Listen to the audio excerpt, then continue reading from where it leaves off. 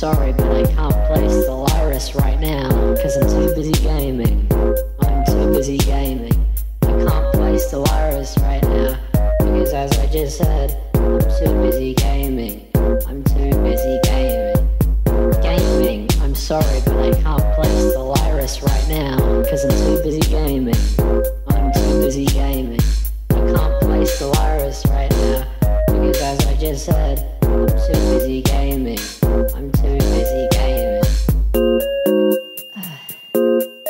Sorry I don't have much to say, but you know, I'm just kinda gaming right now. I'm sorry.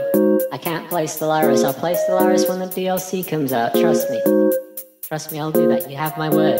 You added me to the group chat and everything. Do you want to know why you added me to the group chat and everything? Because you know I'll do it. You know for a fact I'll do it. I'll play.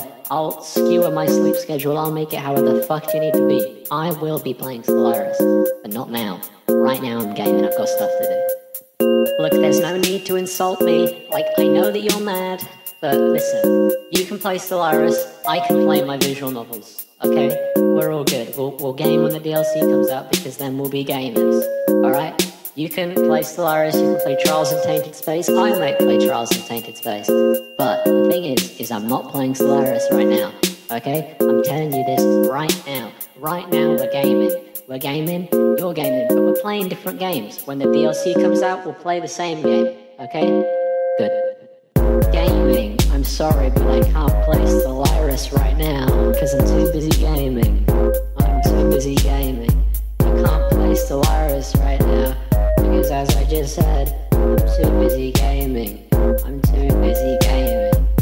Gaming. I'm sorry, but I can't play Stellaris right now because I'm too busy gaming. Busy gaming. I can't play Stellaris right now because, as I just said, I'm too busy gaming. I'm too busy gaming.